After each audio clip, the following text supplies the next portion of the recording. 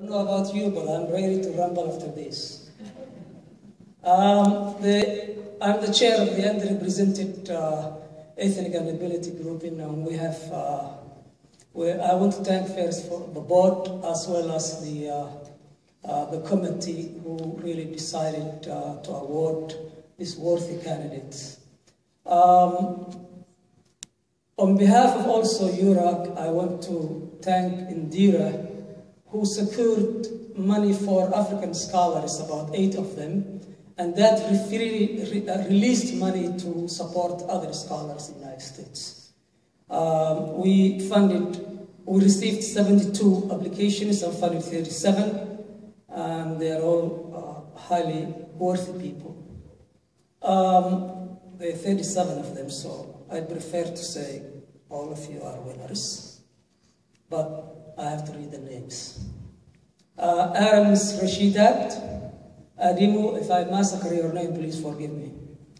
Adimu Alibu, uh, Adije Nuruddin, Abul Aniza, um, Zehlia Babu, Badia Haragomi, Bare, Brian Corina, Olga, um, Megan Chidi, Oslan Erdan, please stand up if I call you.